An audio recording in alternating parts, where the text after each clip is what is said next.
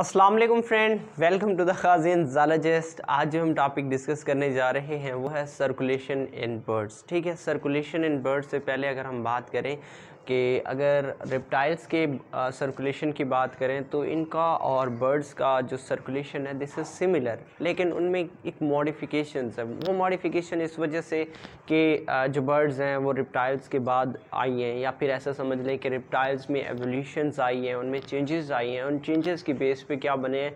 Birds ही rise हुए ठीक है? तो अब ये जो बर्ड्स हैं बर्ड्स का जो सर्कुलेटरी सिस्टम है, वो क्या है? मॉडिफाइड है, ठीक है? अब वो इस तरह से कि अगर हम बात करें रिप्टाइल्स में तो रिप्टाइल्स में उनका जो हार्ट सिस्टम था वो कम्प्लीटली सेपरेटेड नहीं था और उसमें डीऑक्सीजनेटेड ब्लड और लेस डीऑक्सीजनेटेड और जो ऑक्सीजनेटेड ब्लड था वो एक दूसरे के साथ मिक्स हो जाता था। लेकिन इस केस में ब्लड बिल्कुल भी मिक्स नहीं होता। ठीक है चलो स्टार्ट करते हैं इसको। और आपको पता है कि गार्जियन जालोजिस्ट आपका अपना ही चैनल है ठीक है? तो इसमें आ, अगर हम बात करें कि इसमें एट्रिया एट्रिया और वेंट्रिकल्स। वेंट्रिकल्स, ये क्या होते हैं? कंप्लीटली चलो मैं आगे की तरफ़ ही मुड़ जाता हूँ, ठीक है? कंप्लीटली सेपरेटेड होते हैं। सेपरेटेड होते हैं, ठीक है? अब जब कम्प्लीटली सेपरेटेड होते हैं तो इसका मतलब ये है कि जो, ये है कि जो लेस ऑक्सीजनेटेड ब्लड है ऑक्सीजनेटेड ब्लड ठीक है? या फिर आप डीऑक्सीजनेटेड ब्लड की बात करें और उधर क्या है? More oxygenated blood oxygenated oxygenated blood ये क्या होते हैं? आपस में मिक्स नहीं होते, ठीक है? क्या नहीं होते? Do not mix with each other ठीक है? Do not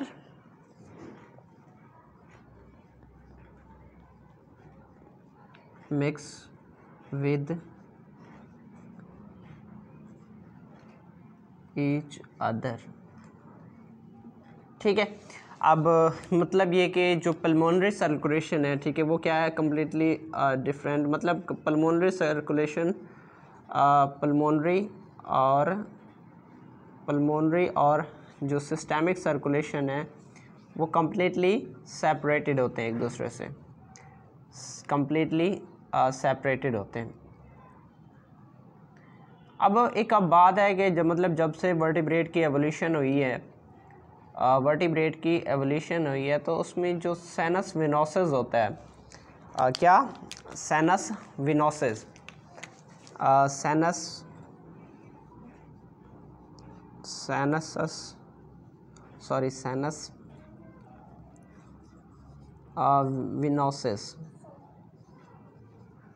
ये क्या हुआ है? साइज़ में रिड्यूस्ड होता गया रिड्यूस्ड होता गया है। फॉर एग्ज़ाम्पल्स अगर हम बात करें रेप्टाइल्स में सॉरी फिशेस की बात करें फिशेस एम्फीबियंस एम्फीबियंस या या फिर हम बात करें टर्टल्स की।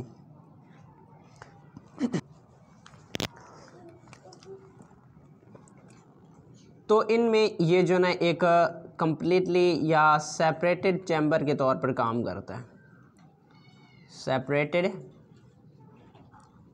चैम्बर के तौर पर काम करता है, ये सैनस विनोसिस लेकिन अगर हम अदर रेप्टाइल्स की बात करें other reptiles other reptiles other reptiles mean ठीक है, दूसरे लेजर्ड की बात करें स्नेक की बात करें तो वहाँ ये किसके तौर पर काम करता है? पैच ऑफ़ या piece make patch of piece maker के तौर पर काम करता है, ठीक है? मतलब एक रिड्यूस्ड इन साइज़ हो जाता है और वो पैच ऑफ़ पीस मेकर के तौर पर काम करता है, ठीक है? पेस मेकर या pace piece maker piece maker के तौर पर काम करता है, ठीक है? इसी तरह से बर्ड्स में बर्ड्स में ये मज़ीद मतलब रिड्यूस्ड हो गया है, ठीक है? बर्ड्स इनमें क्या हुआ? बर्ड्स इनमें मज़ीद रिड्यूस्ड हो गया, ठीक है? मोर रिड्यूस्ड रेड्यूस्ड ओके अब मोर रिड्यूस्ड हो के मतलब वो सिर्फ़ जो पेस मेकर के टिश्यूज़ थे, ठीक है patch of pace maker tissues तो उनमें क्या हो गया, ये डेवलप्ड हो गया और ये जो राइट एट्रियम है, ठीक है, उसके ऊपर मौजूद होता है राइट एट्रियम मैं ऐसे देख रहा हूँ आर ए राइट एट्रियम ठीक है तो उसके ऊपर मौजूद है। देखो बर्ड्स का जो हार्ट होता है, वो क्या होता है लार्जर होता है, ठीक है, इनका हार्ट हार्ट साइज़ की बात करें, चलो मैं इस साइड पे इधर ही लिख लेता हूँ। इधर ही लिख लेता हूँ, ठीक है? इनका जो हार्ट होता है, ठीक है, वो क्या होता है? हार्ट लार्जर होता है। लार्जर मिसाल के तौर पर इनके मतलब 2.4 होता है परसेंट होता है of the total body weight ठीक है? टोटल बॉडी वेट का कितना होता है? 2.4 परसेंट होता है। अब इसमें अगर हम बात करें हार्ट बीट की तो काफ़ी ज़्यादा मतलब heart high heart beat rate होता है। हार्ट बीट हार्ट बीट अब मिसाल के तौर पर हम किसकी बात करते हैं? ह्यूमिंग बर्ड्स की।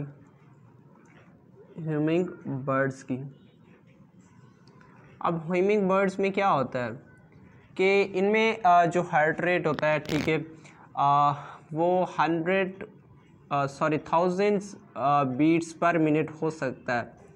Thousand beats per minute. अब वो किस दौरान होगा मोस्टली मतलब पहली बात तो ये कि इनमें काफ़ी ज़्यादा होता है, ठीक है, लेकिन वो हंड्रेड बीट से भी इबव कर जाता है ड्यूरिंग द स्ट्रेस कंडीशन ठीक है? During during the stress condition देखो, जब मतलब बॉडी का साइज़ बॉडी का साइज़ क्या होगा? ज़्यादा होगा मतलब लार्जर एनिमल बर्ड होगा, ठीक है? साइज़ वो ज़्यादा होगा तो उसका जो हार्ट है हार्ट साइज़ वो क्या होगा? स्मॉल होगा, ठीक है? हार्ट साइज़ हार्ट साइज़ क्या होगा? स्मॉलर होगा, ठीक है? वो स्मॉलर होगा। अब, मिसाल के तौर पर हम ऑस्ट्रिच की बात करें। ऑस्ट्रिच ऑस्ट्रिच अब ऑस्ट्रिच में मतलब जो हार्ट बीट है, ठीक है, वो कितना होता है?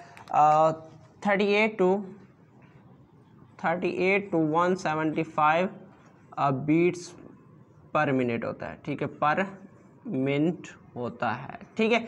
अब ये मतलब ये कि बर्ड का साइज़ मतलब जितना ज़्यादा होगा, उसका हार्ट बीट उतना क्या होगा? कम होगा। मतलब ये कि ह्यूमिंग बर्ड्स की बात करें, उसका साइज़ कम है और हार्ट की हार्ट क्या है? लार्जर है। अब ये सारा जो मतलब ये हार्ट का मतलब हार्ट का हार्ट साइज़ का लार्जर होना, ठीक है? मैं यहाँ लिख लेता हूँ कि ये हार्ट साइज़ है, ठीक है? हार्ट साइज़ का लार्जर होना ठीक है। आ, या फिर high heart rate high high heart beats या हार्ट रेट्स का होना हाई हार्ट रेट्स का होना। आ, या फिर कम्प्लीटली कंप्लीट सेपरेशन की बात करें ठीक है। कंप्लीट सेपरेशन की। कंप्लीट सेपरेशन की बात करें तो ये एक्चुअली उन एनिमल्स की क्या हैं इन बर्ड्स की क्या हैं एडाप्टेशंस हैं ठीक है? Uh, ये एक किस्म की क्या है? एडाप्टेशंस हैं एडाप्टेशंस हैं ठीक है? अब ये एडाप्टेशंस एक्चुअली किसमें इन्वॉल्व होते हैं इनके किस मतलब किसमें मदद देते हैं ताकि एक तो कि large quantity of blood supply हो ठीक है? लार्ज क्वांटिटी मतलब ज़्यादा से ज़्यादा मतलब ब्लड क्या हो? सप्लाई हो। ठीक है large quantity of quantities of blood अब वो किस लिए ब्लड ज़्यादा सप्लाई हो? एंडोथर्मी के लिए। किसके लिए? एंडोथर्मी के लिए। एंडोथर्मी के लिए। और साथ में किसके लिए? फ़्लाइट के लिए। ओके फ़्लाइट के लिए या फिर एंडोथर्मी के लिए इनको ज़्यादा से ज़्यादा मतलब ब्लड की ज़रूरत होती है और ज़्यादा से ज़्यादा मतलब इनके हार्ट रेट्स होते हैं और इनका जो हेड का साइज़ है वो भी क्या होता है? ज़्यादा होता है। ठीक है? तो ये था हमारा आज का लेक्चर इन मिलते हैं नेक्स्ट वीडियो में। तब तक इजाज़त चाहता हूँ। ओके